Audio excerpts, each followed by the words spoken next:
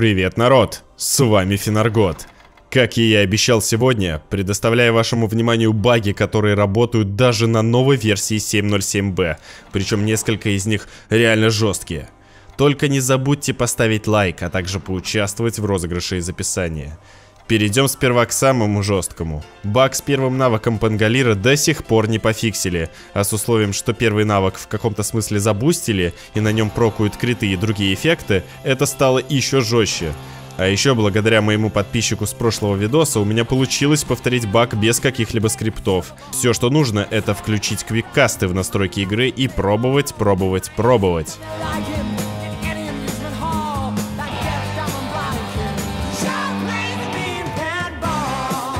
Если вы не в курсе, что это за баг, ссылку на него можете найти в описании. Ну да ладно, идем дальше. Так как поменяли первый навык у Пангалира, я решил затестить предметы, и, к примеру, с саблей все работает весьма интересно. Цели получают замедление от эффекта сабли, но при этом она не уходит в откат.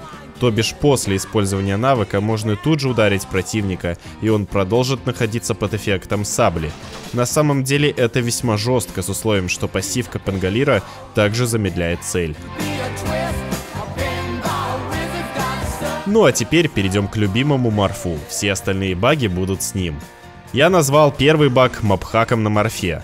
Если за морфа стать сикером и сбить противнику хп до уровня, при котором он становится видим по всей карте, а потом выйти из ульты, пассивка сикера останется на морфе. Не будет, правда, давать бонусов к атаке и скорости передвижения, но вы продолжите видеть противника, даже если он отхилится.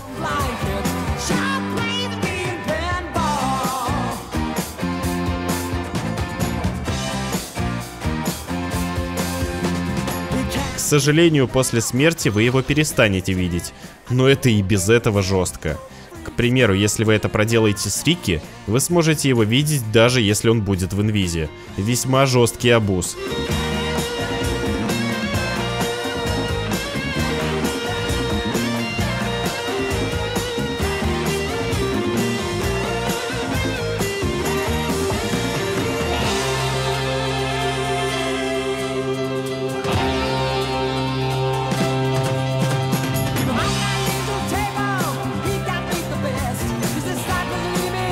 Как бы то ни было, герои, которые станут на low HP, не будут вам видны, если вы не будете в форме Бладсикера.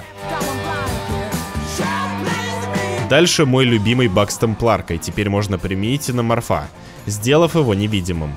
Все, что нужно, это стать темпларкой или рубиком, который украл Meld, войти в Meld и нанести тычку так, чтобы она не смогла долететь до цели. На самом деле можете на моем канале найти ролик «Убийца-невидимка», там все более детально рассказано, на примере с темпларкой. В общем, вам нужно делать либо последнюю тычку в коги Клокверка, которые ломают, либо в яйцо Феникса, которое вот-вот закончится. В итоге Морф становится невидимым, пока не нанесет тычку с руки. При этом он может использовать спеллы из инвиза, не выходя из него. То бишь спамить волной или адаптив страйком.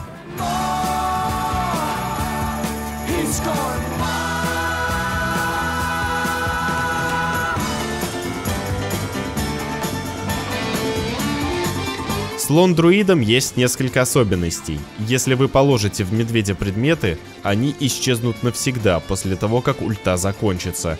Но гемы рапира из него будут выпадать.